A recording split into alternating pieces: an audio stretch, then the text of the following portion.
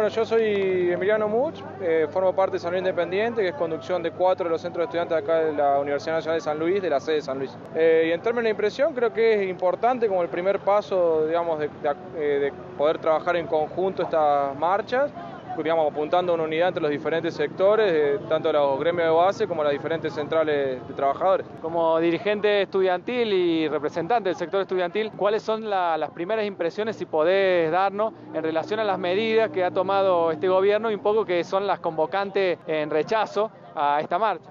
Digamos, es preocupante en primera instancia lo que fueron las medidas en relación a la, ley de educación, digamos, el regreso a la ley de educación federal, a la ley federal de educación, eh, y después ese, cierto retrotraimiento, digamos, a decir que había sido un error. Eso preocupa un poco porque implica también un desfinanciamiento en términos de la educación y después la preocupación en términos del financiamiento de la educación pública, lo que nos respecta a nosotros la educación superior, eh, sobre todo lo que tiene que ver el presupuesto, beca y demás, que es algo que va a condicionar digamos, el ingreso, la permanencia del ingreso de los estudiantes universitarios. Eh, un poco históricamente la, situación que vive el sector estudiantil en este momento del año y en un contexto también de, medidas en contra de la clase trabajadora que afecta en, particular también a los docentes universitarios. ¿Cómo están viendo en principio esta situación? Hubo hoy un par de 24 horas convocado por uno de los sindicatos, la situación de la universidad y los docentes no es, no, no es, bastante, es bastante complicada. Digo, ¿Cómo la están viendo ustedes? ¿Cómo creen que se va a dar? ¿Qué canales de diálogo se están abriendo?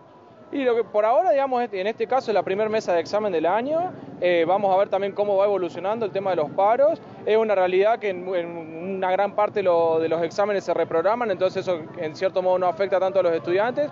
Va a haber que ver eh, a medida que vaya avanzando de qué medidas se toman y hasta incluso trabajando en conjunto, respetando el derecho legal y democrático del paro por parte de los docentes y ver cómo se puede apoyar del sector estudiantil. Y es una realidad que lo que también va a empezar a suceder es que no solamente va a ser afectado a los estudiantes por el paro, sino también va a ser el bolsillo, en el sentido de muchos estudiantes que también trabajan para poder permanecer en la universidad y va a ser algo que inevitablemente con los aumentos en las tarifas y los ajustes que se están viniendo van a afectar a los estudiantes.